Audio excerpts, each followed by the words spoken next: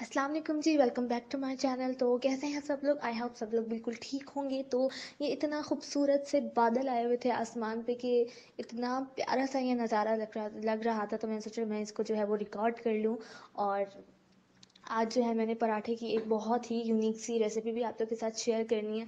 तो वीडियो को जो है वो आपने लास्ट तक देखना है और साथ ही साथ जो है मैंने आप लोगों से एक वजीफ़ा भी शेयर करना है, जो मैंने ख़ुद किया और माशाल्लाह मैंने जो भी दुआ की वो मेरी हर दुआ जो है वो कबूल हुई है।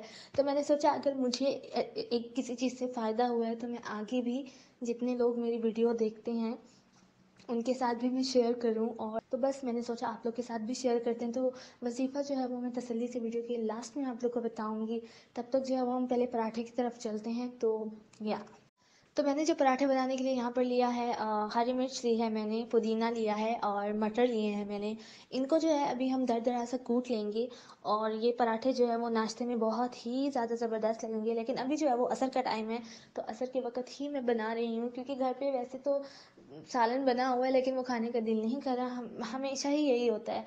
तो मैंने सोचा कि चलो, कुछ ना यूनिक सा, कुछ ये भी मैंने दिल कर रहा था तो मैंने अपने से सोच के बना लिया।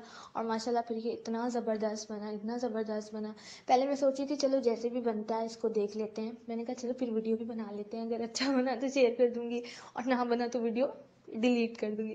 लेकिन इतना ज़बरदस्त बना, माशाल्लाह इतना ज़बरदस्त बना है कि मैंने कहा कि नहीं भाई, ये तो शेयर करना ही करना है, ज़रूर शेयर करना है। अच्छा जी तो इसको जो है वो मैंने कुछ इस तरह से दर दरा सा कूट लिया है, आप लोग देख सकते हैं। और इसको जो है आप कुछ मसालों के साथ ना भून लेते हैं अच्छे से। उसके बाद फिर जल्दी जल्दी से पराठे बना लेते हैं।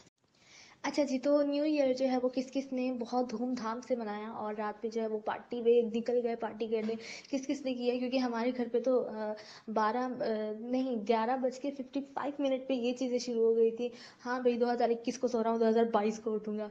या फिर ये चीज़ हमारे घर में शुरू हो गई थी कि सुनो आप दो हज़ार बाईस को मिलेंगे। मतलब इतना सर खा रहे थे ना हमारे भाई तो। हमारे घर में बस यही कुछ रहा था। लेकिन सच में, मैं मैं एक चीज़ अगर सच्ची बताऊँ तो मुझे ना इस चीज़ से कोई फ़र्क पड़ा और ना ही मुझे इस चीज़ की कोई खुशी हो रही थी और ना ही मुझे इस चीज़ की कोई एक्साइटमेंट हो रही थी कि न्यू ईयर है पार्टी कर लो, ये कर लो, वो कर लो। ऐसा नहीं होता है। वैसे तो हमारा ये होता ही नहीं है, हमारा तो मुहर्रम होता है। लेकिन इंसान जो है, वो दिल में ज़रा ये दुआ करता है कि अल्लाह करे कि इन हमारा जो ये साल गुजरा है, अब आने वाला साल जो है, वो बहुत ही बेहतर हो अच्छा हो। और ये जो कोरोना वगैरह का जो ये सिलसिला चला हुआ है ना, बस ये दुआ करते हैं कि आने वाले साल हमारे बेहतर गुजरें। हर कोई अल्लाह की अमान में रहे, अच्छी सेहत हो सबकी, बस बस सब एकदम खुश रहें, आबाद रहें और ज़िंदगी जो है वो बहुत ही अच्छी तरह से गुजर जाए। वो कहते हैं ना कि आप एक ज़िंदगी गुजार रहे हो ना उसको इज़्ज़त से और अच्छी तरह से और उसका एक एक पल इंजॉय करके जियो। तो आई थिंक इस तरह से ही बस मेरे दिल से कुछ ये बातें निकल रही थी। जी, अभी आप लोग ये देख सकते हो कि मैंने जो है मसाले को अच्छे से भून लिया है और अभी जो है हम इसको थोड़ा प्लेट में साइड पे निकाल के रख देते हैं ताकि थोड़ा ठंडा हो जाए। क्योंकि अगर हम गरम गरम ही से पराठे बनाएँगे तो वो नहीं बनेंगे बिल्कुल भी तो इसको थोड़ा सा जो है वो हम ठंडा करने के लिए रख देते हैं। यानी कि नॉर्मल।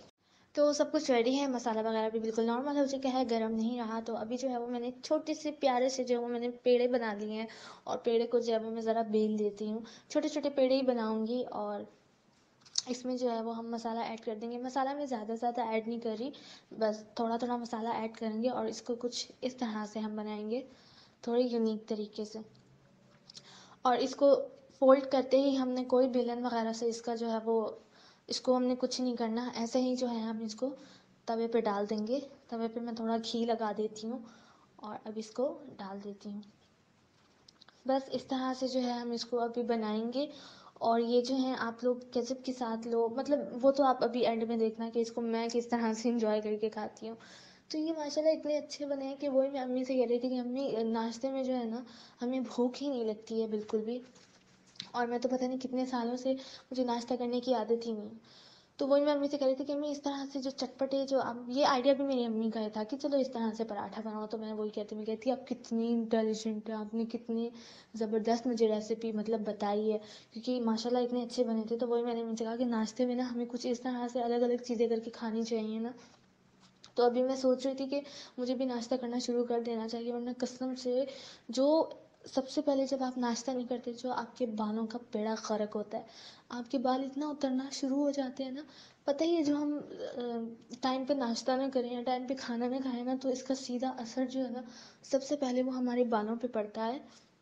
बालों की तो वैसे ही मैं फिर एक्स्ट्रा भी इससे भी एक्स्ट्रा केयर करती हूँ, लेकिन नाश्ता और खाना दिन रात का हमें इसकी टाइमिंग का बहुत ख्याल रखना चाहिए।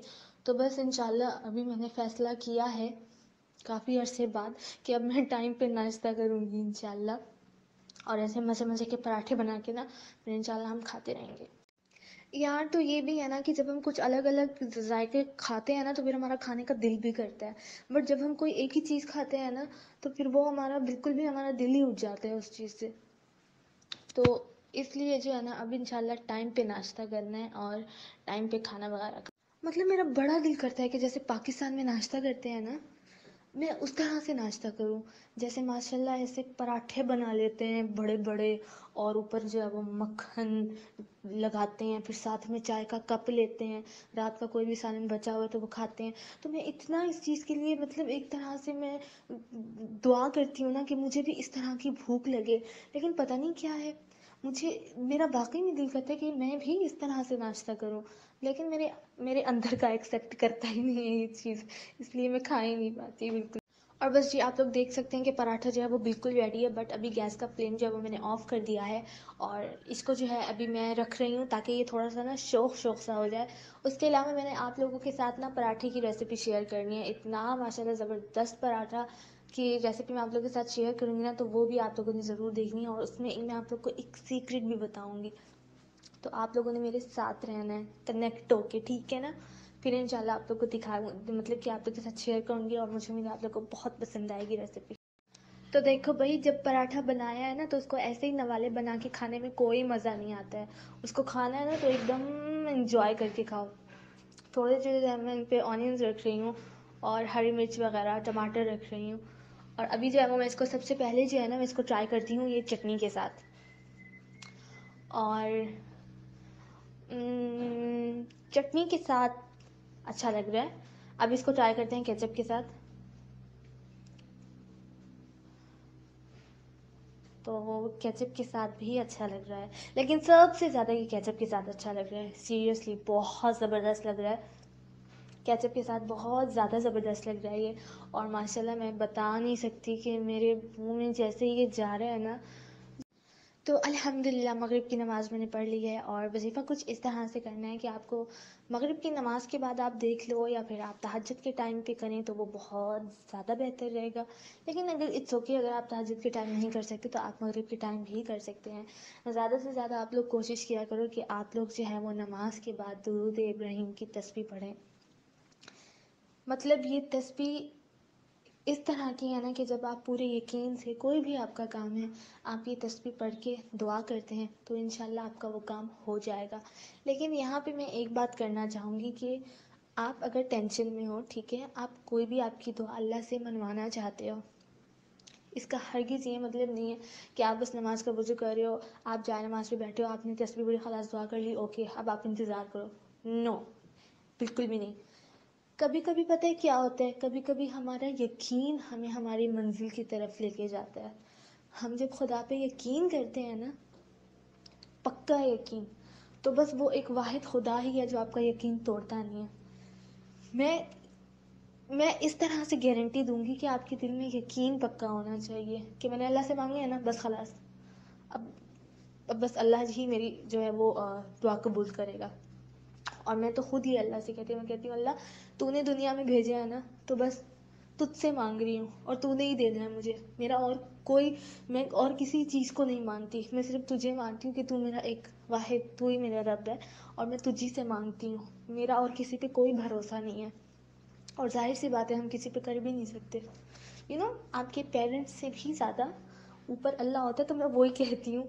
तो मैं तो खैर, वो तो इन फिर तो वजीफ़ा जो है वो आपके पूरे यकीन के साथ करना है। जब आप यकीन करते हो ना तो फिर वो आपका यकीन, वो भरम जो है ना, वो आपका अल्लाह टूटने नहीं देता है।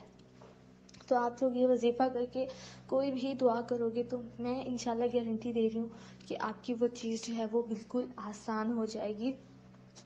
हम, या फिर ऐसा होता है कि हमने एक दिन वजीफ़ा किया, दो दिन किया, तीन दिन किया मतलब बीस दिन किया। अगर हमारा काम नहीं हुआ तो हम उस चीज़ से पीछे हट जाते। नहीं, ऐसा नहीं होता है। आपने उस चीज़ पे रुके रहना है, आपने उस चीज़ पे खड़े रहना है, ठीक है? कभी कभी ऐसा होता है कि आप जब कुछ बड़ा मांगते हो ना, जब कुछ बहुत बड़ा मांगते हो तो फिर आपकी आजमाइश भी उतनी बड़ी हो जाती है। और जब आप उस आजमाइश के लिए अपने आप को रेडी कर लेते हो ना तो फिर बस, फिर मुआजे भी आपकी ज़िंदगी का हिस्सा बनना पसंद करते हैं, और वो बनना भी चाहते हैं, ठीक है? तो अक्सर लोग जो है ना, वो डिस्ट्रैक्ट हो जाते हैं जब उन पर आजमाइश आती है तो। तो ऐसा नहीं करना होता है। खैर, मेरी बहुत सी तहजद की स्टोरीज़ है और बहुत सारी हैं, वो इंशाल्लाह मैं आगे वीडियो में आप लोग के साथ ज़रूर ज़रूर ज़रूर शेयर करूँगी। तो बस जी, आपने जो है इस वजीफ़े को जो है बहुत ही यकीन के साथ करना है। तो इन आपका कोई भी अगर काम होगा, कोई काम रुका हुआ है, कोई काम कितने अरसे से आपका क्यों नहीं हो रहा सालों से काम रुका हुआ है। आप ये करो इन आपकी दुआ, आपका वो काम पक्का गारंटी है। मैं बोल रही हूँ ना हंड्रेड परसेंट ओके ये मेरे वर्ड्स हैं बट दिल में यकीन रखना, पक्का यकीन रखना दिल में। तो बस जी मैं उम्मीद करती हूँ कि आप लोगों को जो है मेरा मेरी मे, मेरा ये जो ब्लॉग है वो बहुत ही ज़्यादा पसंद आया होगा। और अगर पसंद आया तो इसको लाइक कर दें चैनल को सब्सक्राइब कर दें शेयर कर दें फैमिली और फ्रेंड्स के साथ। तो फिर इंशाल्लाह आप लोगों से नेक्स्ट ब्लॉग में मिलती हूँ। एक बहुत ही ज़बरदस्त रेसिपी भी होगी ब्लॉग भी होगी। तो मेरे चैनल पर जो है आपको रेसिपी भी मिलेगी और छोटा मोटा छोटा नन्ना मुन्ना सा जो है वो आपको ब्लॉग भी मिलेगा। तो फिर इंशाल्लाह मिलते हैं नेक्स्ट वीडियो में। तब तक के लिए अल्लाह हाफिज़। Thank you so much for watching my video Take care. Bye.